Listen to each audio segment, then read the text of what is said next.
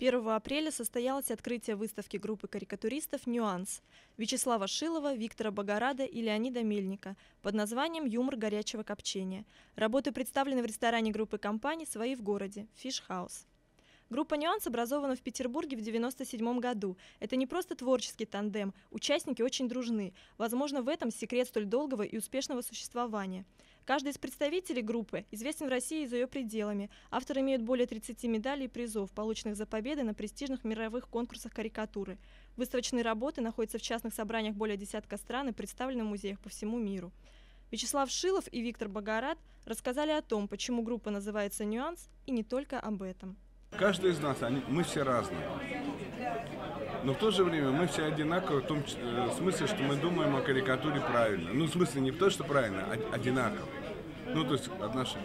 Одинаково какими... правильно. Одинаково правильно, да. Но с какими-то нюансами. То, то есть у каждого своя да. изюминка. Совершенно верно. И поэтому, когда мы делаем выставку, человек приходит, он видит не одну выставку, а три выставки. Трех разных художников. Потому что есть нюанс у каждого, да? Вот вы популярны за рубежом, насколько я знаю, вы очень много представляли выставок именно за рубеж. Довелось. Научился. А вот как восприятие российской публики отличается от зарубежной? Никак? Одинаково.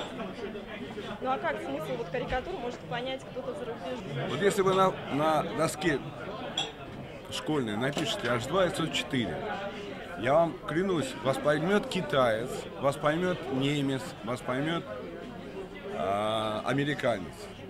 Карикатура то же самое. Это формула, которая понятна всем.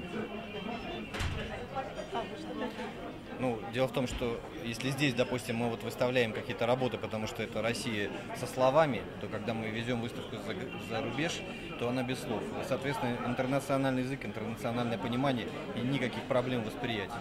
Скажите, пожалуйста, вот 1 апреля, наверное, не случайно этот день выбран, чтобы выставку представить. Как вы относитесь к этому празднику? И разыгрываете вы друг друга? Я считаю, что 1 апреля это профессиональный праздник репетиторства. Ну, у нас нет такого конечно, Второе. Разыгрываем ли друг друга? Ну, пытаемся, да. Но дело в том, что 1 апреля э, мы все на, настороже. Трудно разыграть. Выставка продлится до 14 апреля. Люди, живущие в ногу со временем и относящиеся к жизни с юмором, найдут для себя много интересного в представленной экспозиции. Анна Филипенко, Валентина Суворова, специально для Санкт-Петербургского союза журналистов.